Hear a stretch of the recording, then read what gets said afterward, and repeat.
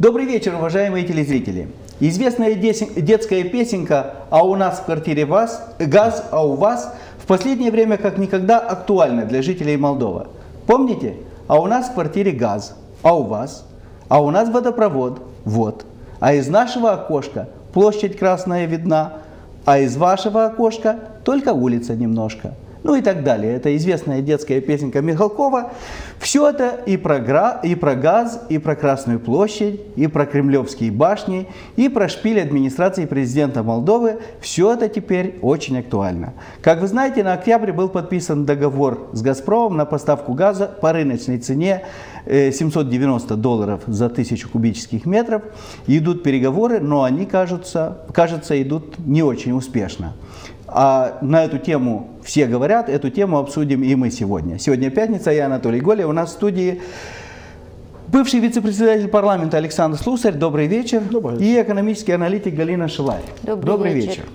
Итак, господа, вы, как и все мы, как и все граждане Молдовы, пристально, внимательно следите за тем, что происходит. Каковы ваши ощущения, прогнозы, понятия, что происходит вообще и что будет? Кого? Кто смелее? Ну, вопрос очень обширный, скажем так, чтобы на него ответить. Какие ощущения? Можете сузить. У нас в квартире газ сузить, да. будет или нет? Нет, то, что у нас в квартире газ будет, я практически уверен. На сколько процентов? Процентов на 90, ну давайте, на 95 процентов я уверен, что у нас будет газ. Угу. Другой вопрос, будет ли у нас российский газ и когда он будет. Нет, здесь, друг... здесь есть вопрос. Другой и, важный вопрос, почем? по какой цене? Да. Нет, так это тоже, это тоже важный вопрос. По какой цене будет газ, если он будет российский, и по какой цене будет газ, если он будет не российский. Здесь, здесь... Но тоже российский. Ну, Скорее юридически всего. уже там очень сложно сказать. Допустим, если это газ из Румынии, как там можно понять? Румыния на 70% импортирует газ, 30% добывает. Как там можно сказать, российский это газ или не российский газ? Но, по запаху. По запаху? Или там на нем будет другой флаг? Но в целом, конечно, ситуация э, очень сложная, на мой взгляд. Э, она, безусловно, носит политический характер. Для меня нет никак, никаких сомнений, что то, что происходит, это, это политические переговоры и это политическая игра. Э, но от этого не легче.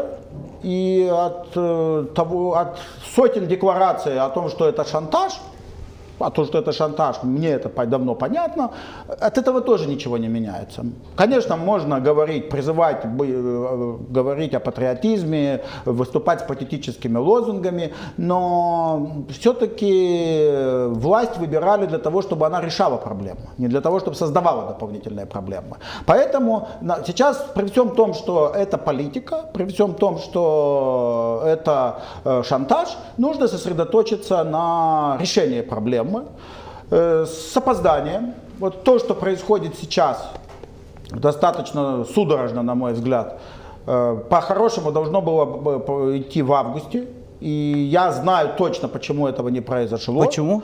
Потому что наше правительство по-хорошему 7-6 августа, когда оно было инвестировано, э, тут же нужно было, все, все данные проблемы были известны, что договор истекает 1 октября, что цены сильно растут, что у нас неудачно поменяли эту формулу, что Молдова газ во многом это тот же Газпром. И нужно было сразу же в ручном режиме начинать Сначала договариваться быстро о продлении договора, э, смотреть, э, что мы можем сделать по диверсификации, какая ситуация с нашими внешними партнерами. В общем, все, что делается сейчас, немножко так, это в таком режиме, можно было начинать э, в, в начале августа. У нас же что произошло? Приехал господин Козак и успокоил я знаю точно, что он встречался, и он сказал, все будет хорошо, все, мы продлим на тех же условиях, не волнуйтесь, вас это не коснется, вы дайте гарантию, что вы не будете блокировать Приднестровье. Хорошо. И правительство расслабилось. И вот э, в результате этого расслабона мы получили то, что мы получили. И сейчас, конечно, э, позиции наши на переговорах они, на мой взгляд, если взять экономическую составляющую, ну, очень, очень сложно говорить, что вот дайте нам газ так, такой-то, там такой-то, э, хотя идет шантаж этим долгом, этого долга, э, это, это очень большой вопрос по этому долгу, мы, наверное, сегодня еще поговорим, но э, по поводу долга есть что сказать, но по поводу цены понятно, что сейчас сходи, сходи на рынок. Конъюнктура. Но у нас есть два козыря, которые мы должны были с августа еще разыгрывать. Это диверсификация при том, что по этой диверсификации на какое-то время мы получим серьезную скидку или поддержку внешних партнеров, и это фактор Приднестровья. По диверсификации пока получается, на мой взгляд, не очень. Даже вот то, что они сейчас, мы об этом тоже сегодня, наверное, поговорим. Я бы предпочел бы, чтобы мы ехали с другими позициями на эти переговоры. Но фактор Приднестровья, он остается важным. Удастся ли нашим переговорщикам там сейчас э, э, достичь приемлемого варианта? Мы, наверное, узнаем это до субботы-воскресенья. Все нервничают, потому что к воскресенью истекает срок Контракта. договора. И с 1 ноября газа, может, не будет. с понедельника. Российского. Гали... Да. Российского. Галина Николаевна, ваше Я... мнение? А вот моя точка, времени, точка зрения, она коренным образом отличается от мнения в чем? Александра. В том, что это политика? В том, что это политика.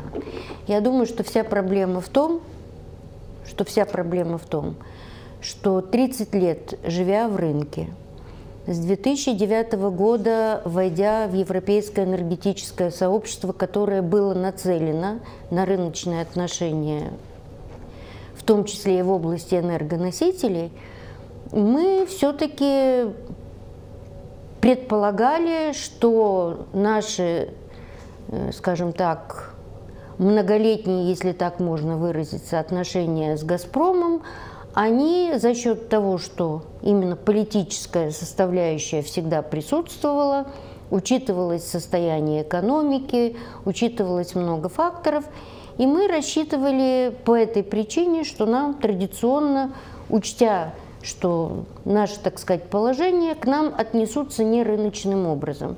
И для нас вдруг стало неожиданным, что в том числе и российские партнеры начали к нам относиться как к равным рыночным партнером.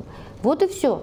И мне кажется, что вот как раз проблема, проблема, ну, во-первых, состоит, с моей точки зрения, во-первых, состоит в том, и тут я с господином Слусарем согласна, мы совершенно безответственно отнеслись э, к началу, к началу, к началу переговоров. К завершению действий контракта. Да, потому что Э, понимаете, вот что для меня совершенно неожиданно и, так сказать, очередная новелла сегодняшней ситуации, вот за 30 лет независимости сам процесс переговоров по газовому контракту так широко и подробно обсуждается публично – то есть вот я не помню ни когда... Значит, что-то есть. Причем это обсуждается не столько в Молдове, э, не столько в Кишиневе, сколько в Москве. Я, мне кажется, может быть, я ошибаюсь, я не слежу за российскими каналами так, как следите за ними вы, но это ваша работа. Но мне кажется, что все-таки публичность этому вопросу задали мы здесь, в Кишиневе, а не в Москве. Москва просто эту тему подхватила. Публи... И... Публичность, понимаете, связана с настроениями общества. СМИ чувствуют, что это интересно. Э, я не соглашусь, что не обсуждалась тема газа. Тема газа в конце декабря всегда обсуждалась. Очень остро. Я помню при правительстве Брагиша, когда Молдова даже осталась без газа, в 2000 году. Помните, когда готовили на, на улицах, во дворах? Э, была ситуация в 2009 году, э, когда подписали в последний момент – была ситуация, по-моему, в 2014 Юля, она никогда году. не была сам процесс когда, переговоров Когда начались разногласия так. между Украиной и Россией, у нас был большой вопрос, будет транзит через э, Украину. Но это был не контракт, это был вопрос, это был вопрос транзита. транзита да. Это транзита. была не, ну, она ну, была и, частично ну, наша. Не от нас зависела. И не 2000, от нас зависело. И в 2019 да? году, когда подготовили в последний момент альтернативный путь турецкого потока через Болгарию и Румынию получать газ, тоже, то есть проблемы всегда возникали. То ли они, я не говорю, что проблем не было. Я не говорю, что проблем не было. Я говорю о том, что этот вопрос, сам процесс переговоров, вот понимаете, Стал будет, публичным. не будет. А мы хотим еще больше публичности. Журналисты обвиняют власти в том, что они не транспарентны, что они не говорят, что они не, не сообщают подробностей. И вот сегодня... Так вот, вот У меня Толя, к вам дело в том... у Только меня- один вопрос. Да. У меня к вам только один вопрос Да. насчет рыночных отношений. Да. Вот это вот, потому что вы говорили, что Да. переход к рыночным. Я согласен, что хорошо бы было бы, чтобы мы перешли к рыночным отношениям, и та, и другая сторона. А вот э, и в контексте ситуации с долгами, вот, которые подняли, мы можем обсуждать, есть они, нету их долгов, сумма, тело, пеня, но вот если это рыночные отношения со стороны Российской Федерации, как вы мне сможете объяснить 7,5 миллиардов, это по, по оценке э, Пр- Приднестровья и почти 8 миллиардов по оценкам Молдовы газ, долг, который Приднестровье имеет по отношению к Газпрому. И Газпром за все 30 лет независимости поставляет туда газ и не требует ни одной копейки. Объясните мне здесь рыночную составляющую вот, этих, вот этого. Пункт номер раз. Вот э, я еще раз повторюсь, и здесь я с вами полностью не согласна. Во-первых, вопрос приднестровского долга, вот этого безумного долга, он э, нынешних переговорах не не обсуждается. обсуждается. Вообще не обсуждается. Это Пункт правда. номер раз. Пункт Но номер- наши 700 обсуждаются. А я могу объяснить, вот почему наши 700 обсуждаются, я Интересно. могу объяснить. Проблема, мне кажется, и я вот с этого начала, да? Эм, На первой пресс-конференции перед своей первой поездкой в Санкт-Петербург господин премьер-министр Вице-премьер. первым пардон, вице-премьер-министр, э, говоря о целях и задачах своей поездки в Санкт-Петербург, первым вопросом он обозначил третий энергопакет и другие вопросы. Вот так был поставлен вопрос. Что такое третий энергопакет? Это разделение компании Молдова Газ. Правильно? Правильно. На три части. М? На На три части. части. Да. Это, это не важно, это просто разделение компании на три части. «Газпром» – главный акционер и главный и единственный кредитор. Я права? Здесь вы согласны со мной? Что главный акционер? Да. Ну, и 51, един- кон- контрольный пакет. Контрольный пакет и единственный кредитор, да, то есть мы должны за поставки газа у нас на протяжении Так, этого периода Возникает был вопрос, при Нет, разделении компании, что кто будет с долгом? отвечает за долг? Да. Безусловно. Я- я и на- пока это была единая компания, то было понятно, кто должен и, кто, и как с кого долги требовать. Если компания делится, то возникает, по крайней мере, вопрос о том, каким образом, то есть где будет эти Кто- 50, кто- ну то есть вопрос Кто о собственности. долга? И собственно. Главное здесь вопрос о том, почему вопрос о долге возник сейчас. Потому что необходимо решить вопрос до раздела, кто правопреемник долга. Поэтому И стал вопрос долга. Поэтому стал вопрос долга. Э, Понятно. Я по этому поводу очень надеюсь, что э, ситуация успокоится, что мы подпишем, будет договор. И, конечно, я приглашу господина Чебана и господина Спыну. Э, Я встречался с господином Чебаном в э, июне в этой студии. В конце прошлого года он пригласил журналистов на такую неформальную встречу. И он почти клятвенно говорил, вопрос разделения согласован до мельчайших подробностей. Мы готовы к внедрению третьего энергопакета. Газпромом все согласовано, Газпром не возражает. И вдруг в сентябре, когда взлетели цены на международном рынке, возникают эти вопросы. Эти вопросы, вы совершенно правильно ставите вопрос, если разделяется компания, кто основной правопреемник, я думаю, что тот, кто остается в шикарном здании на улице Пушкина, тот и, и долг должен взять, да, по идее. Ну, Этот вопрос решаем. Тем более, тем более, что третий энергопакет, он не очень жесткий. Там есть три варианта. Мы вот все время говорим, что компания должна быть разделена, но мы забываем, что третий энергопакет, он предусматривает три варианта. Компания может быть разделена на три совершенно независимых предприятия. Компания может остаться, то есть сети и распределение остаются у того, кто про, э, производит газ, э, но э, передается в управление независимому оператору. А третий вариант вообще не передается, но более жесткий контроль со стороны государства по всей тарифной политике. То есть я думаю, что э, господин Чебан или с кем вы говорили, или Спину, я думаю, что он был абсолютно прав. Э, Газпром не очень боится третьего энергопакета. И давайте говорить так, во всей Европе этот третий энергопакет давно уже применим. И, и там Газ... все идет и для нормально. Газпрома это не и для Газпрома это Он работает в этих условиях э, и в других странах. И это с 2012 года, с 2009 даже тянется. С 2012 года мы продлеваем абсолютно. на 2-3 года, на 2-3 года. Все знали, что рано или поздно вопрос Нет, станет. вопрос не в этом этом. Вопрос в том, вопрос, кто будет являться правоприемником долга. Почему сейчас? Ну, мне трудно сказать, почему сейчас. Потому что. Э, понимаете, вот э, ну, по поводу, по, есть вопрос по поводу образования долга. Я знаю позицию господина Слусаря, позицию других экспертов, откуда появился долг. Я сегодня видел, буквально сегодня видел по годам, как он образовывался почти 40 миллионов из э, этих 400 миллионов с чем-то э, возникли в 2006-2007 году при правительстве Тарлева, почти 400 миллионов в 2011-2015 при правительстве Филата, Лянка и частично Габурича. И 10 миллионов долга это 2,5%. Ну, это сейчас образовали. В 2021 да. году, да. Текущий долг. Да, и, конечно, возникает вопрос, почему этот долг образовался, почему его не погашали до этого.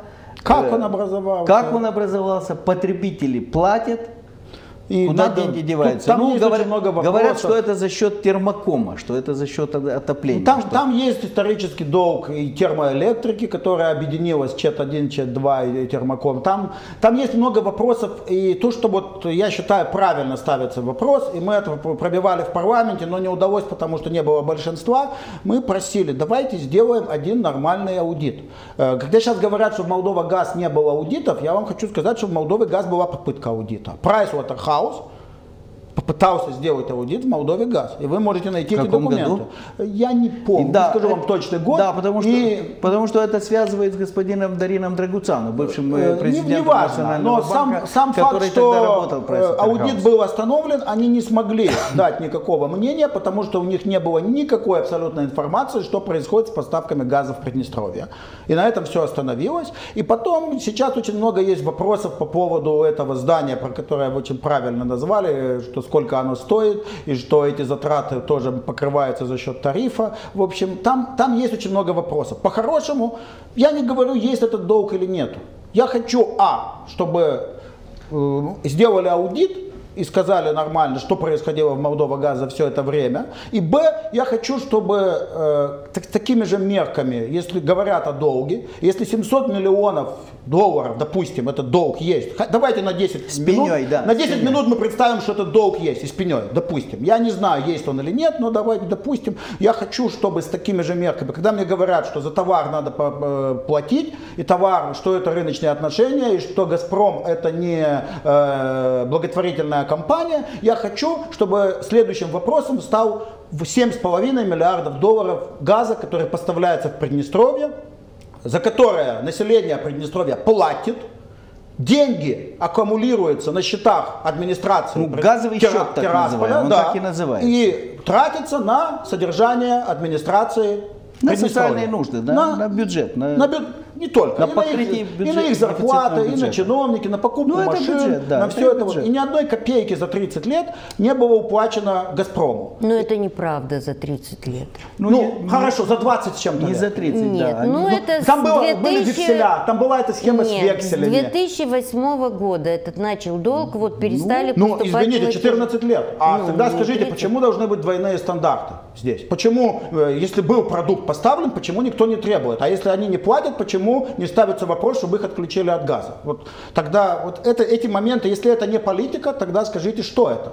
Я не спорю, чтобы вы понимали, я критично отношусь к, Ко всему. к, к тому, что делает, нет, как администрирует процесс власть. Я вам сказал уже почему. Я считаю, что можно было раньше. Я здесь согласен частично с госпожой Шавар, и я с этого начал, что нужно было сразу же с 6 августа этот процесс ставить под личный контроль и не играть в игры, что это спор двух хозяйствующих субъектов и что два экономических агента. Почему говорили? Я вам объяснил. Потому что им пообещали, что все будет нормально. Потому, потому что Молдова Газ писала письма буквально, если не каждый день, то каждую неделю по поводу договора, и им отвечали, Да, что да, всё так- будет договор хорошо. будет. Да.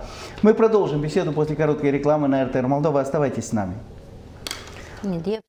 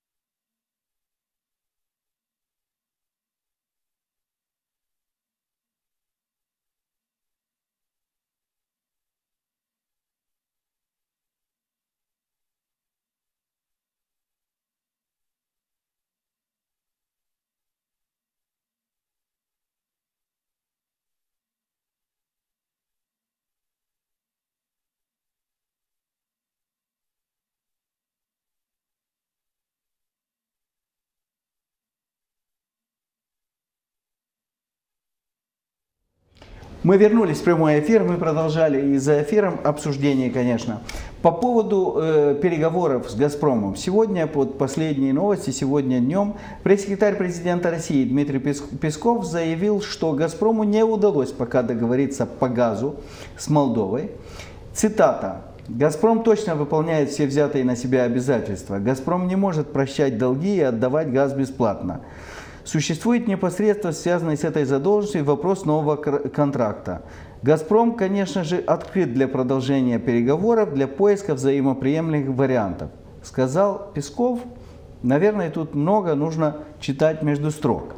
Э, до этого сегодня утром вице-премьер-министр Андрей Спыну, который третий день находится в э, Санкт-Петербурге, ведет переговоры с «Газпромом», сказал, что переговоры продолжатся третий день. Я оптимистично написал у себя в социальных сетях, что э, по поводу задолженности правительство Молдовы считает, что долг должен быть согласован сторонами только после аудита. И добавил оптимистично, что обсуждение носит конструктивный характер, прилагаются активные усилия по поиску точку, точки пересечения интересов обеих сторон. Из того, что я вижу, интересы обеих сторон пока мало пересекаются. Как быть в этой ситуации? Вот что нужно, должно случиться, чтобы Молдова подписала договор с «Газпромом». Потому что из того, что я понимаю, э, газа может уже не быть от «Газпрома» с понедельника. Ну, я тоже слышал такую версию. Я тоже, я как бы на сегодняшний день разделяю ваш пессимизм по поводу того, что, что там происходит. И вот это высказывание господина Пескова, пресс-секретаря президента, что лишний раз подчеркивает, что хотим мы, не хотим, но это не переговоры двух хозяйствующих субъектов, это политические переговоры. И с самого начала вести их нужно было на уровне премьер-министров. Э, я тоже пока, пока пессимистичен, не знаю, у меня нету деталей, может быть там будет какой-то прорыв. А вы вообще считаете, что вы тоже выступаете за э, аудит? Э, да. Выяснить, откуда появились эти долги. Вы считаете, что аудит возможен, что «Газпром» согласится на аудит? Ну, у нас неприкасаемых быть не должно. А почему, почему правительство, все правительства Молдовы до сих пор э, послушно подписывали вот э, все документы, визировали договоры, визировали этот долг, утверждали э, договоры на заседании акционеров? Это очень хороший вопрос, Анатолий. Я думаю, что нужно задавать вопросы, наверное, не только общество, не только мы с вами, но и правоохранительные органы должны заинтересоваться, что было, как оно было, кто подписывал, что Галина Николаевич, что да. даст аудит? Что даст аудит? Вы как экономист. Ну, по крайней мере, аудит я думаю, что, во-первых, будет э, здесь, вот я бы встала на точку зрения, как у нас подписывался, то есть я бы все-таки разделила, да, правое и левобережье Днестра. Понятно, что по левобережью Днестра, ну, сейчас с правого берега вариантов немного рассмотреть вот при нынешнем отношении. Но мне кажется, что если бы мы абсолютно четко поняли, как получались и расходовались средства, которые получены на правом берегу Днестра, и здесь я хотела То есть бы... прозрачность. Прозрачность. По крайней мере, было бы понимание, и это было бы наукой на всю Всем. оставшуюся жизнь. Э, понимаете, мне кажется, что мы несколько расслабились вот с момента самого создания Молдова ГАЗ. Потому что, несмотря на то, что вот этот самый первый контракт, который у нас был, который связан был с созданием Молдова ГАЗ, как это ни странно, но вот эту преамбулу без приложений я в свое время нашла на сайте Государственной Думы, потому что на сайте нашего парламента одна строчка – ратифицировать соглашение или контракт на поставки газа это вы имеете в виду в самом начале? Это, самом 90, начале. 98 да, или когда создавался Молдова газ? В 99-м, при Сторзе. В 99-м. В 99-м или в 2000-м, я сейчас уже не вспомню. Но, по крайней мере, тогда это было действительно достижением. То есть, во-первых, наши отношения были выстроены ну, на какую-то появилась какая-то Ну, юридическая основа. Потому что до этого И- тому же, что творилось за и взаимозачетами, что, мы и помним. Что, и что самое главное, вот тогда впервые было четко разделено и потребление правого и левого бе- берега Днестра, Ну, ввелся и учет. задолженность. Велся да? учет. И после этого, причем там приводились фирмы, я, к сожалению, не умела тогда сканировать, но у меня есть распечатка. Понимаете, и с тех пор мы этим вопросом занимались только тогда, когда вдруг возникал, возникала проблема Приднестровья. Поэтому я считаю, что особенно в нынешней ситуации, ну, нужно как бы вот, коль мы живем в разделенной стране, что даст аудит? Аудит покажет, то есть у общества будет четкое понимание, где компания действует эффективно и правильно, где есть какие-то точки, которые позволяют И вы считаете, Допол- что акционеры согласятся, и «Газпром», и, и правительство? Я думаю, что с учетом, ну, скажем так, малой значимости Молдовы, как с точки зрения поставок газа, и, в общем-то, это, э, мне кажется, тут, э, что значит акционеры согласятся? В конце концов, у нас есть законодательство об акционерных обществах, у нас есть право миноритарных акционеров, которые должны соглашаться.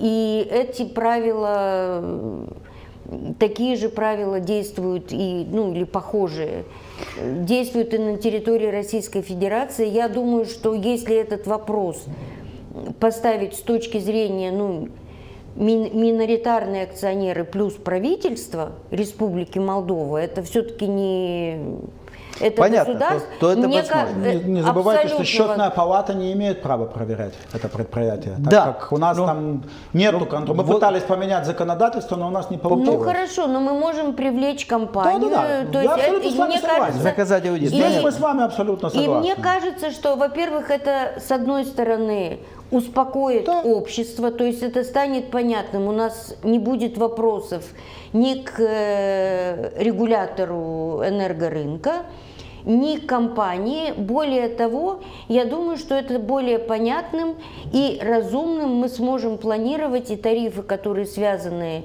скажем, с термоэлектрикой, то есть и, и, и все остальные скажем так, э, увязанные с этой проблемой, цепочку цен, тарифов и так далее. Понятно, потому что... Но, Толь, можно я Да. закончу? Это, во-первых, а во-вторых, это заставит нас более ответственно относиться к тому, что происходит, то есть менее потребительски, да, то есть вот эта ситуация должна заставить и нас, то есть как гражданское общество, ну, Что делать? что делать? Проявить солидарность, как призвала вчера президент? Нет, Хорошо, я, не, согла- проявим я не согласна с солидарностью. Ме- Меньше потреблять, так мы и так все заинтересованы в том, чтобы, Э, Чтобы экономить, меньше потому потреблять. что и сейчас Проблема- газ не дешевый, а если будет еще дороже, то... Проблема, понимаете, почему меня удивляет э, вот сама изначальная постановка вопроса, потому что я ну, понимала, что Молдова газ и Газпром это ну, не тот уровень экономических агентов, которые в конце концов Молдова газ это как э, идет конфликт интересов, если Молдова газ разговаривает с Газпромом один на один. Это Газпром с Газпромом. Ну, разговаривает. об этом, Да. об этом постоянно, постоянно пишет и говорит э, Александр Петков, который является миноритарным акционером Молдова-Газ. Он проанализировал, если есть у наших э, ребят э, э, э, фотографии с переговоров, э, чтобы выставить.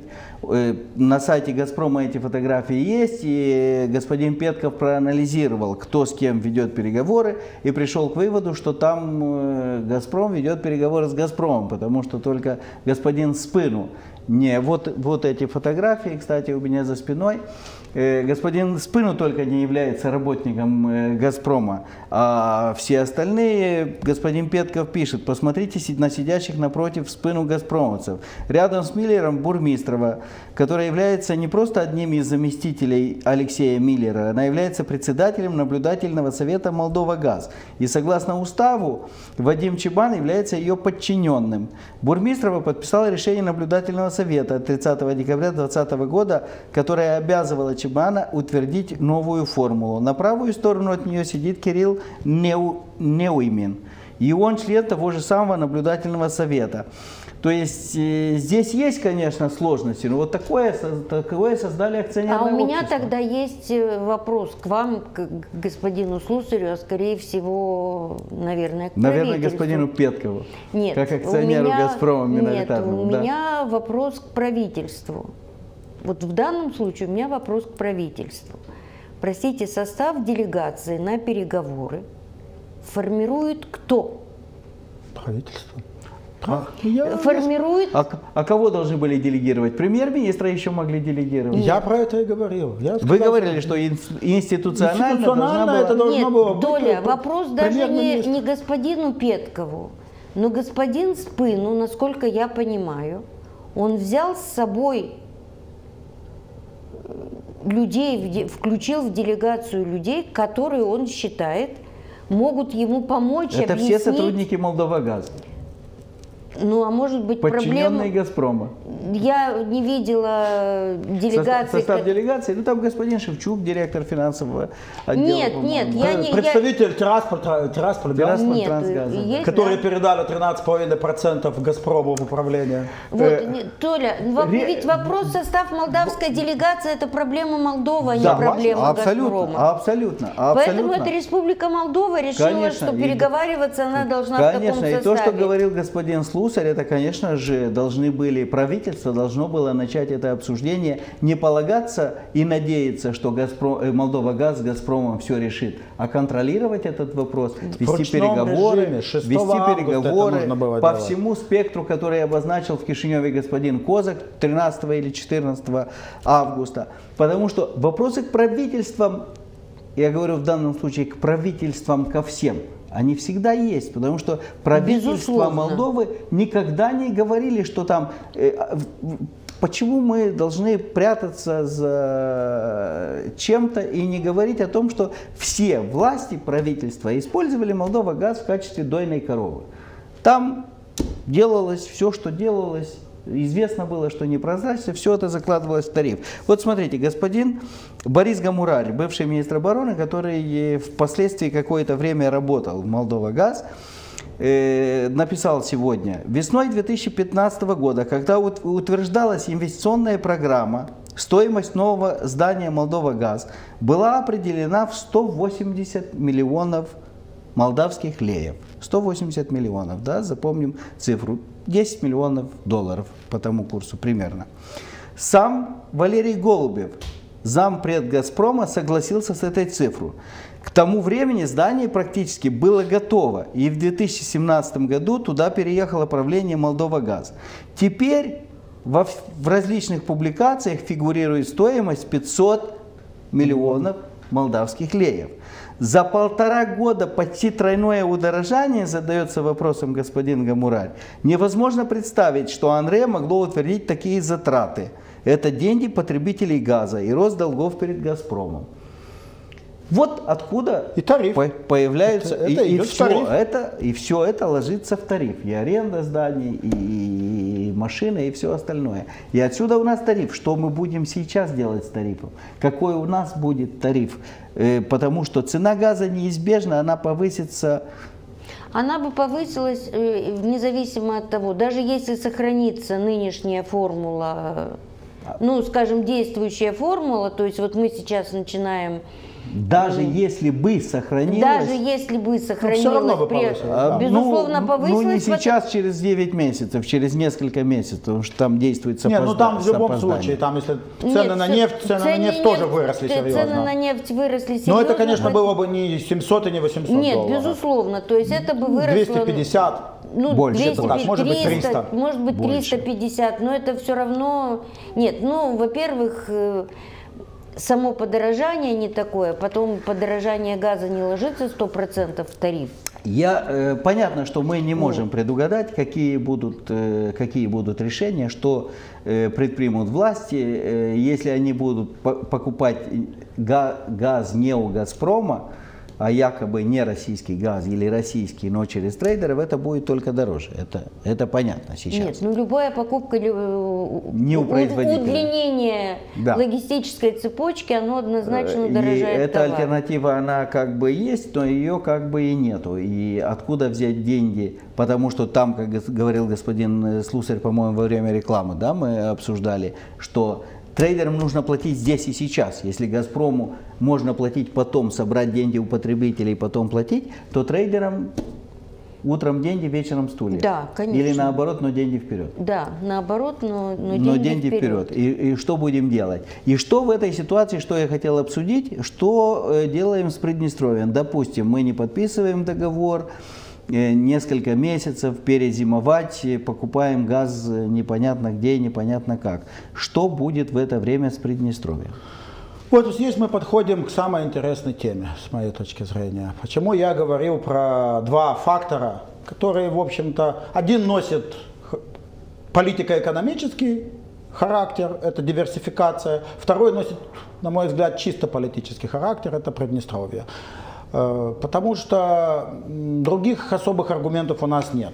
Я бы, конечно, предпочел бы, чтобы Республика Молдова по- подошла бы к этим переговорам, имея реальную диверсификацию, не то, что мы имеем сейчас. Вот эти покупки по ведру в день, конечно, они не, не решат проблему и не сильно повлияют на «Газпром». И никакой тут... Я и не большой- напугают «Газпром», не что у нас напугают, есть это не сильно, не сильно триумфализм, и- тем более, что возникает большой вопрос. Ну, пока 2-3 миллиона, ладно, это еще туда-сюда, но если так будет каждый день энергоком покупать газ, Станет серьезный вопрос, как этот газ будет э, оплачиваться потребителями. Э, очень вероятен конфликт между энергокомом и Молдовой газом, потому что Молдова газ должен покупать у энергокома этот газ, э, давать, по- покупать по 1100 долларов, потребителям пока по старому тарифу продавать. Здесь будет очень много вопросов, и, на мой взгляд, вот Ос- это... э, Только осложнить Только ситуацию. возможно осложнить ситуацию, и это вот показывает то, что, вот, что делается в спешке. Я, конечно, представлял себе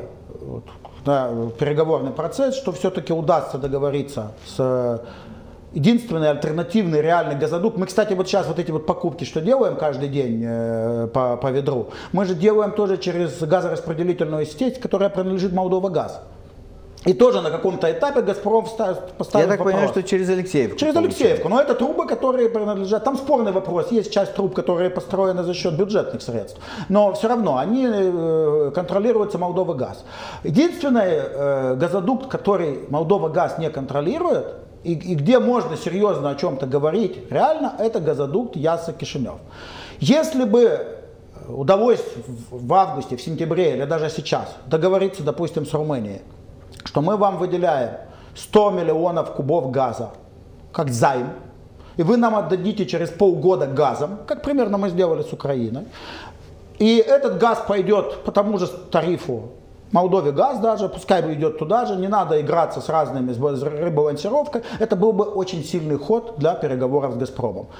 Тем более, что э, правый берег через газодукт э, Ясы-Кишинев можно э, снабжать газом. С левым берегом здесь большие проблемы. Что И вот тут будет- мы подходим к Приднестровью. Приднестровью, И да. вот тут мы подходим к Приднестровью, и я считаю, что раз есть провал по всем остальным моментам, нужно этот вопрос э, ставить достаточно жестко, потому что, э, давайте говорить так, если с 1 ноября не будет молдавского газа, э, российского газа, газпромовского газа, то правый берег со всеми ошибками, со всеми издержками, со всеми, со всеми проблемами, которые возникнут финансово-социального характера, все-таки может себя обеспечить газом.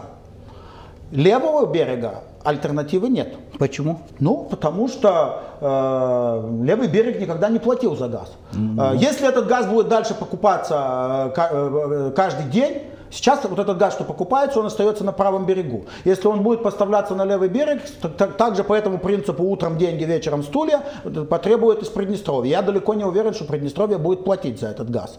Это во-первых. Во- А если он будет поставляться по га- газодукту Яса-Кишинев, так технических возможностей нет. а если он будет продолжать поступать из, Приднес- из Газпрома? Никак по- нельзя. Почему? Никак нельзя. Контракта нету, а и Украина не даст транзит. Украина не даст транзит, если не существует договора между Молдовой газ и э, российской стороной. Есть другой вариант. Мне сказали, что, что в Молдове зарегистрированы 24 компании, трейдера, которые имеют право покупать газ и продавать, молдавские компании, с разными, с разными учредителями. И сейчас, кстати, Тирасполь Трансгаз подал заявку в Андре для того, чтобы получить лицензию на поставку газа. Вот эти трейдеры Будут тоже так по, по одному миллиону покупать? покупают у Газпрома и продают э, Приднестровью. В чем проблема? Ну, тут есть вопрос э, насчет Тирасполь, Тирасполь газ, если он получит лицензию у Андрея. Тоже Нет, если не получит лицензию, Да. другие трейдеры будут Ну, покупать. я, я думаю, что это, это сопряжено с огромными сложностями. Самое главное, никто не даст этот газ А они, э, со- бесплатно. они сопряжено Уже ли это со сложностями для нас остаться еще и без электроэнергии? Это есть серьезная проблема. Это есть э, у нас серьезная проблема, но, но тут надо брать несколько аспектов во внимание. Кучерганская ГРЭС имеет договор с э, э, Давайте, у нас, у нас реклама, давайте после этого Хорошо. поговорим про электроэнергию, чтобы мы еще не остались зимой и без газа, и без электроэнергии. Оставайтесь с нами, узнаете ответ на этот вопрос после рекламы.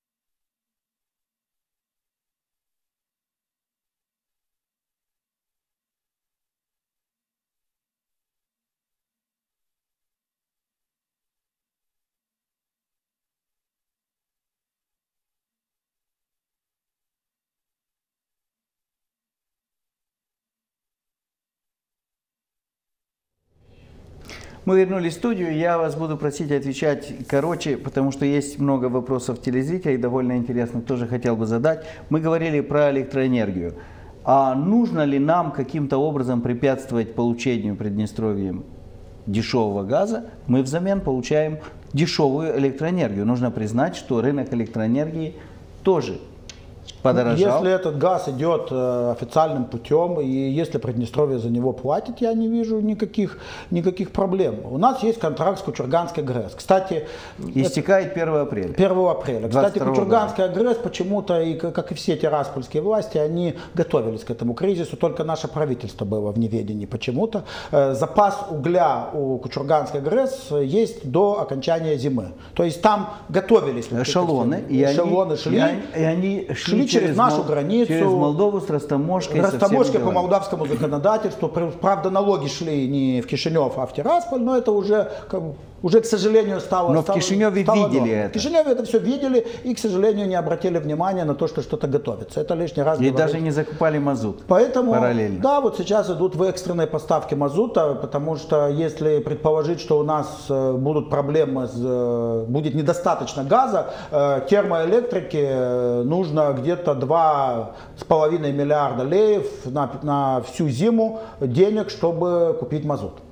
Но возвращаемся к И подавать тепло. э, чтобы подавать тепло, потому что Да, они но это в Кишиневе. В Кишиневе, только в Кишиневе, причем и в Кишиневе есть не- некоторое не- небольшое количество кварталов, которые не могут работать на мазуте, там есть только газ. А, Север же, например, в Бельцах, там только газ, там нельзя применить э, мазут, поэтому там и есть сейчас определенная проблема. Э, электроэнергия, э, у нас есть контракт с кучурганами, кучурганы работают, и сейчас уже там газа очень мало, турбины в основном работают на угле, у них есть договор, и в принципе они нам обязаны поставлять электроэнергию. Э, Если, опять же, оперировать традиционными рыночными отношениями. А если форс-мажор? А если форс-мажор, то тут существует проблема, которую, я надеюсь, можно технически решить. У нас была, э, был период в истории в 2017 году, когда 80% всей электроэнергии мы получали из Украины. У нас 5 линий высокого напряжения, которые идут из Украины. Четыре из Четыре них из них проходят проходят через через. Кучурган. Пятое не зависит от этого. В общем-то, э, можно заключить соглашение с Украиной, опять же, если бы, конечно, Но это будет гораздо дороже. это будет, э, э, это будет дороже, потому что я не верю И опять зависим от одного щедрость. источника. Ну, тут уже деваться, это будет форс-мажор. Это я не верю в большую щедрость Украины, хотя, ну не знаю, может быть как, на каком-то этапе. В принципе, когда шел торг два года, Украина все время давала э, немножко дешевле сначала, но потом Кучурган снижал, и Украина типа выходила из этих переговоров. Здесь Ну, есть другая проблема. Сейчас мы получаем у молдавской Здесь есть другая Есть проблема, другая что проблема. у Украины тоже Не недостаток Нет, не хватает хватит электро- электроэнергии. Украина, Электроэнергии Украина хватит. покупает России и Хватит. Белоруссии. Проблема в другом. Проблема в том, что мы покупаем у молдавской ГРЭС Кучургана по 5,2 цента. 5,3, да. Да, 5,2, по-моему. Но а, на рынке сейчас, что в Румынии, что в Украине, цена 12-15. Ну, я говорю, что Центр. это, вы говорите, если будет по- по-хорошему, не должно в быть. 2-3 раза По больше. рыночным отношениям э, ГРЭС работает на угле и должна выдавать. Понятно. Но, я еще раз, тут есть одна диверсионного э, характера. В 2017 году, как бы, почему нас все-таки принудили покупать у ГРЭС? Когда мы закупали у Украины электроэнергию, вот то, что четыре линии проходят через Кучурган, в момент пикового потребления Кучурган включался. И, и давал такие перепады напряжения и такие, такие э, дезэки- такую дезэкилибровку в сетях, Дисбаланс, да. дисбаланс в сетях, что это сказывалось на поставках электроэнергии. Можно ли технически сейчас решить этот вопрос, я не знаю. Но вот это была проблема в 2017 году. Ну, я думаю, мы не будем доходить до того, чтобы мы вредили им, чтобы они не Ну, получали у нас есть газ. рыночные отношения с э, Кучурганской ГРЭС, которая, я еще раз повторяю, до марта месяца обеспечена углем. Будем надеяться. Вопросы телезрителей э, к вам, наверное, Галина Николаевна. Что Молдова может реально предложить России в плане экономики, чтобы ее рынок стал маломальски интересен для поставок сюда газа по ценам ниже рыночных? Что может предложить в плане политики, примерно понятно, но в политике от Кишинева давно уже никто ничего не ждет. Плане экономики что может быть? Ну, в плане экономики, ну, во-первых, мы вот обсуждали сейчас э, вопрос поставок электроэнергии. И здесь мы можем вдруг вспомнить, что не только Молдова Газ – это э, основной акционер, это российская компания. Мы можем вспомнить и о том, что Кочурганская, что Молдавская ГРЭС, там основной акционер Равоез тоже Россия, да. российская компания. Поэтому, если мы, скажем, создадим для российских компаний благоприятные условия для работы здесь, да, ну, по крайней мере, не хуже, чем те, которые мы создаем для других иностранных Абсолютно. инвесторов. Не должно быть никакой разницы. Вот. В этом плане я думаю, что это интересно. Э, Более того, я абсолютно уверена, что у нас есть э, не только, ну скажем так, сферы приложения, то есть области, которые интересны для российских компаний, но это может быть интересно и с точки зрения научного сообщества. Если мы расширим, ну, например, образовательный обмен, да, то есть здесь вопросов здесь просто... То есть ну, есть поле для сотрудничества, Я- то, что я говорил, абсолютно то, что уверена, говорил что господин есть. Козак. Э, Виктор Нестрянов, господин Слусарь, хотелось бы узнать, как у политика правых взглядов, одобряет ли он перенос вечного огня в целях экономии газа, как это пытались сделать в Кишиневе и как сделали в Кагуле. Не знаю, почему перенос.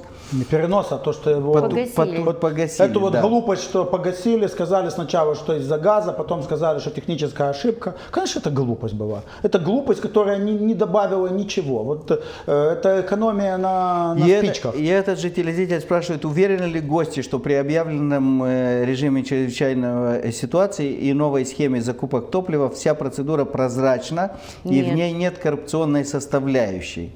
Вот возникли сомнения относительно голландского трейдера и тех, кто за ними стоит. Как сегодня общество может проследить, что не возникла новая схема по выкачиванию бюджетных средств в карманы нехороших людей? Ну, я же сказал свое Нет, мнение. это абсо- я тут Прозрачности нет. нет. Я не вижу вообще... Ну, президент Майя Санду пыталась объяснить, что это вот э, коммерческая тайна, что если мы обнародуем, обнародуем цены и все, Толя, все детали, то нам будут продавать вот только если дороже. у меня еще были сомнения в том, что какая-то прозрачность и понимание существует, то вот после, извините, может быть, я не права, я заранее прошу прощения, но после слов президента я еще больше убедилась, что здесь что-то не У вас возникли еще больше сомнений относительно вот этих Анатолий, альтернативных мы покупок. покупаем через румынскую товарную биржу, мы объявляем конкурс, по те- то есть цены на биржах это, ну, то есть ты открываешь и там видна цена. В зависимости, более того, она не просто видна, эм, мы ведь даже не задумываемся, мы покупаем газ, ну, то есть сегодня на завтра. Я, я не специалист. э, И вот так будем жить до весны?